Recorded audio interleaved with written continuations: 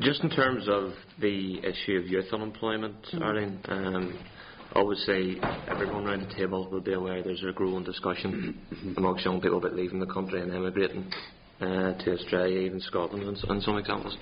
How, how do we ensure that apprentices do get the foot inside the door uh, in terms of their own particular trades uh, or, or, or, jobs? Um, I know Conor Murphy um, uh, was very proactive in ensuring that in terms of road contracts uh, and the previous executive that a certain percentage of those employed in those major contracts were from the long-term unemployed as well as being apprentices.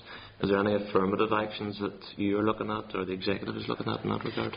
Well, we did take, um, uh, if you want to call it affirmative action, in the Titanic Signature Project um, uh, contract, uh, where again there were um, requirements in relation to uh, long-term unemployed people to be employed on the site as well. Uh, and we thought that that was important uh, for that particular area, that that was the case and that has been complied with as far as I understand, David. In relation to youth unemployment, and uh, after reading through the Westminster Select Committee report on corporation tax, it did point out that yes, corporation tax is very important and will give us a radical change, but we still needed to build on other areas, and skills is one of those areas that we very much uh, need to build on. And I'm hoping to meet with uh, the new minister in, in, the near future to talk about those skills because yes, we're talking about the high-end skills obviously and, and, and, the need to have that for uh, foreign direct investment, but we also need to have a skills strategy for the manual skills that we very much need to have in Northern Ireland. Uh, so skills uh, and that whole area is, is, certainly one thing that we need to address in youth unemployment. Second issue is to make use of the Social Investment Fund, which has been uh, declared by Office of First Minister and Deputy First Minister um, that can be used uh, for aspirational attainment, uh, education, um, the need to inspire young people uh, to move out of what they might traditionally think is the way they should be going.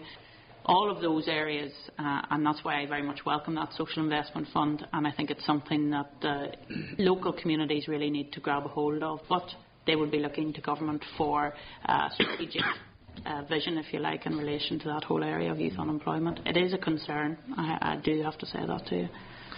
In, in, terms of tourism, then as well, I mean, obviously it's a major concern. Um, I'm a local area in North Antrim, and uh, just to give an example, I sent you correspondence about Ballycastle, and the fact there's a lot of concerns, no ho- hotel provision there whatsoever. Uh, and I think, given the level of tourists uh, going through that area, that's a, that's a major concern and a major uh, hole uh, in that local economy. So I, I think in terms of tourism, we are um, not meeting our full potential as yet. Uh, and given uh, you know our major tourist areas, you know the north coast, you have the Giant's Causeway, you have Bushmills, uh, you have Ballycastle, you have the Glens, and to not have a hotel, a major hotel in that area, is is something that we're we're missing out on. So I'm wondering, in terms of that particular area and also other areas of the north, uh, what is the department and Invest NI uh, in particular want to do to ensure that we attract outward or outside investment and also the support from Invest NI to ensure that over the next four years the people are coming in to invest in hotels and areas like that. Well, you're right to say it's Invest Northern Ireland still holds the uh, pot of money in relation to hotel accommodation. That hasn't, although I took the powers to pass it over to the Tourist Board, it still remains with Invest Northern Ireland at this point in time. I actually thought that the Marine Court was just an administration. I hadn't realised it had actually closed completely. Obviously, we would want mm. that hotel uh, to be reopened as quickly as possible, and we'll be working with the administration uh, and administrators to, to ensure that does happen. But hotel provision in the, uh, on the north coast has always been an issue since I came in um, before it, and uh, we very much wanted to see uh, a five-star hotel happening, uh, and the tourist board has always been supportive of that sort of um, accommodation being placed in the north coast. I have to say I was in the north coast myself just two weekends ago um, stayed in self-catering accommodation, and it was an absolutely marvellous staycation. I'm doing my bit for North Antrim here, David. You should be very pleased with it. um, but it's the, the, the natural scenery that we have on the north coast uh, is something that we really need to build upon. And when that Giant's Causeway Visitor Centre is in place, and it's going very well at the present time, uh, we will see a huge influx of people, but they need the accommodation stay in. No point coming in for a day, and that's what has always happened up there. People come up to the Giants Causeway for a day and then go back to Belfast or go back to Donegal, as has often happened, and they're actually not staying overnight in Northern Ireland. That's uh, where the difficulty arises.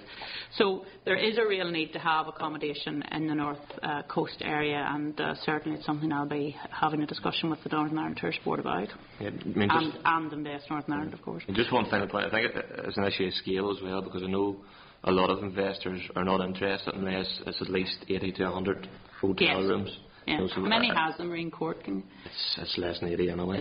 And there's there's little room for expansion there as well, so that's that's where your difficulty is. Right. Uh, but certainly we should be looking at big hotels and you know the, the visitor numbers there to accommodate it. yeah, yeah, well, there is.